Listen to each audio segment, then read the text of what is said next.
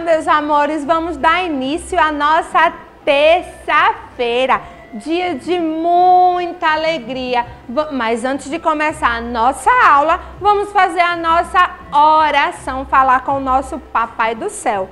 Então, todos vocês juntem as mãozinhas, fechem os olhinhos e vamos falar com o nosso Papai do Céu.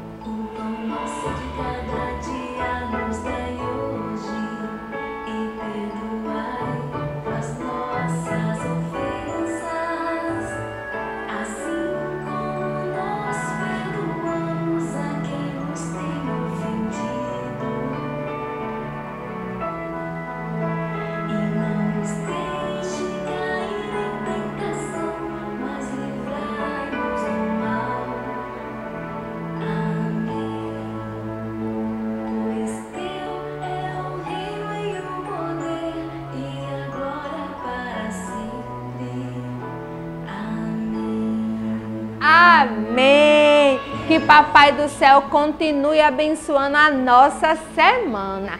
E agora vamos começar a nossa aulinha de hoje. A nossa aula vai começar com uma história bem legal. Essa história é a Batalha das Cores. É, a Batalha das Cores.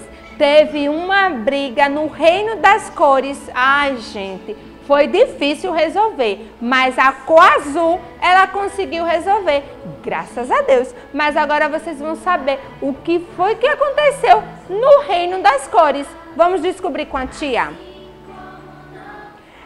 Era uma vez um reino onde tudo tinha sua cor. Lá morava a cor vermelha, a cor amarela, e a cor azul. Essas três cores eram as cores primárias. Só que em um belo dia, a cor vermelha disse: Ah, eu sou a cor mais linda que existe nesse reino. Nenhuma outra cor é mais bonita do que eu. Eita, começou a confusão. Aí a cor amarela disse: nada disso. A cor amarela é a mais bonita. Eu tenho brilho na minha cor. Então eu sou a mais bonita. Eu sou a cor mais bela que existe nesse reino. Meu Deus, gente, foi uma maior confusão. E a cor azul disse: peraí, eu sou uma cor doce e muito agradável. Então eu sou a cor mais bonita. Só que a cor azul teve uma linda ideia. Vamos procurar no nosso reino quais coisas têm a nossa cor. E o objeto que mais tiver a nossa cor é a cor mais bonita. E aí eles começaram a procurar, a procurar, a procurar. A cor vermelha foi a primeira a encontrar. Ela encontrou o morango e ela disse: o morango é uma fruta linda e deliciosa. Então, a cor mais bonita é a minha, é a vermelha, porque o morango é lindo e delicioso. A cor amarela não é não, não é não. É a minha cor, gente. O sol que ilumina todo o planeta é da minha cor, a cor amarela. Então, se o sol é da minha cor, então, a cor amarela é a cor mais linda que existe. Aí veio o azul. Gente, todo o céu que existe no mundo inteiro é da cor azul, é da minha cor. Então, eu sou a cor mais linda e mais agradável. E foi aquela confusão, porque eles não conseguiram encontrar uma cor, um objeto que tivesse mais e que fosse mais bonito. Aí o azul disse: Peraí, peraí, vamos resolver esse problema é agora.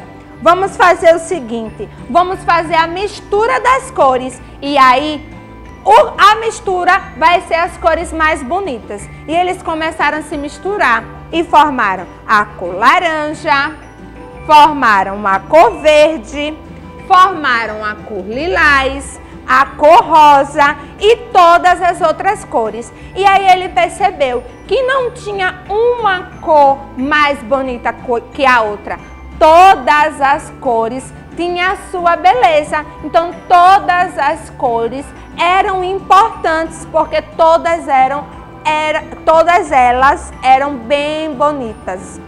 Então, essa foi a batalha das cores. Elas perceberam que não tinha só uma cor mais bonita, porque todas as cores que existiam no mundo inteiro eram bonitas. Então aí formaram as cores primárias, que são essas aqui de cima, a vermelha, a azul e amarela, e as cores secundárias, que surgem a partir dessas cores. Quando elas começam a se misturar, vão formando outras cores, a laranja, o verde e o roxinho. Então agora a tia Vandriane vai colocar uma outra música falando das misturas das cores. Agora vamos fazer a mistura das cores, tá? Prestem bastante atenção. Se eu misturo o amarelo com o azul, qual é a cor que vai formar? Amarelo junto com o azul vai formar o verde. Isso mesmo. E se eu misturar, ó, a cor amarela com a cor azul ou com a cor vermelha, amarelo, misturando com a cor vermelha, qual é a cor que vai formar? É a cor laranja laranja. Amarelo com vermelho dá laranja. E se eu misturar a cor azul com a cor vermelha, não vai dar laranja. Sabe qual é a cor que vai dar? É lilás. Azul com vermelho vai dar o roxo. Então, essas são as misturas das cores. E agora vamos fazer a nossa atividade de sala. Peguem o livrinho de vocês. E agora chegou o momento da nossa atividade de sala.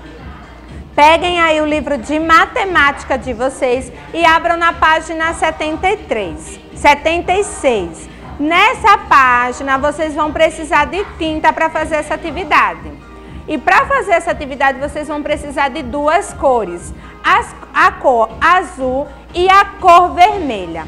Nessa atividade vocês vão fazer um círculo azul de um lado e do outro lado vocês vão fazer um círculo vermelho. Depois que vocês fizerem esses dois círculos, vocês vão começar a misturar essas cores para ver qual é a cor que vai formar nessa copa aqui da árvore, tá? Ó, vou misturar, vou misturar qual a cor está formando? Eu juntei o vermelho com a cor azul. E que cor consegui formar aqui? Ó, que cor é essa, gente, que tia Vandriane formou? Foi a cor roxa.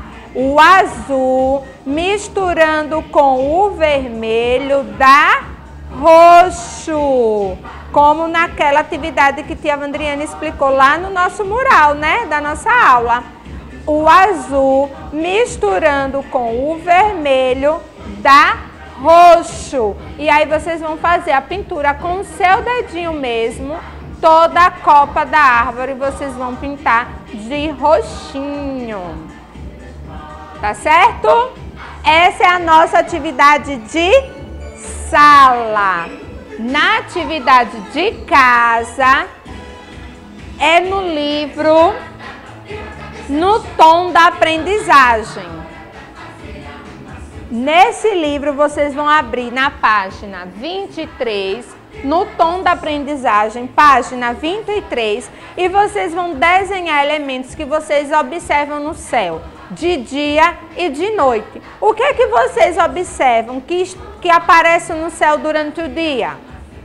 Isso mesmo, o sol. Durante o dia, lá no céu aparece o sol. Então, aqui nessa partezinha de cima, vocês vão desenhar o sol. E nessa partezinha aqui, que representa a noite, vocês vão desenhar a lua e as estrelas. Vão desenhar o que vocês vê no céu durante o dia e durante a noite. E agora chegou o momento da nossa agendinha. E a atividade de hoje é no livro No Tom da Aprendizagem, página 23. Capriche na atividade, tá?